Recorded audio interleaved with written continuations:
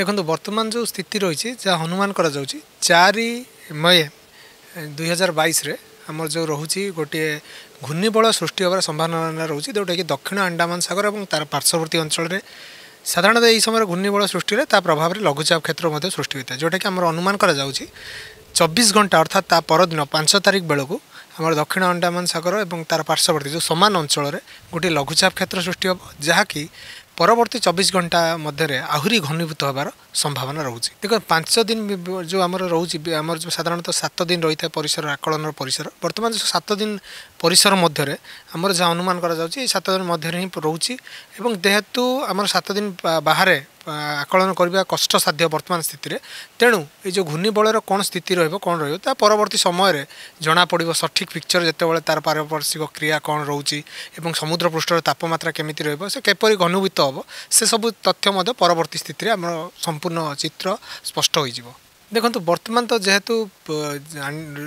সৃষ্টি হয়ে না ঘূর্ণিবল সৃষ্টি হবে না তা প্রভাব লঘুচাপ যে সম্ভাব্য কুযাচ্ছে তা সৃষ্টি হয়ে না তেমন তার কোণ প্রভাব রহব কারণ ওড়শা ঠার বহু দূরের অছি সে স্থান তেমন তার কোণ প্রভাব রহব বর্তমান সময় তা উপরে উক্তি দেওয়া ঠিক নুহে কিন্তু বর্তমান যে তাতি রহুচি আমার ওড়শার আভ্যন্তরীণ ওড়শার দেখা যদি বিভিন্ন স্থানের তাপমাত্রা রেকর্ড করা যাইছি আজি মধ্যে পঁচিশটি স্থানের দিন তাপমাত্রা চাশ ডিগ্রি কিংবা তাঠার অধিক রয়েছে এবং বৌদ্ধে সর্বাধিক তাপমাত্রা পঁয়চাশ ডিগ্রি রেকর্ড করা যাইছে ତାର ପ୍ରଭାବ ଆମର ଯେଉଁ ଅନୁମାନ କରାଯାଉଛି तिरि तारिक ठुलो अब धिर धेरै कम हे कालवैशाखी र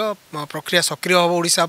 कारण बर्तमान दक्षिण अ दक्षिण पूर्व दिगहरू जो समुद्र समुद्रु जपूर्ण बायु ओडामा प्रवेश गर्छु जहाँ प्रभावले आज जो पश्चिम पश्चिमओडा जो बेल्ट रह बलाङ्गीर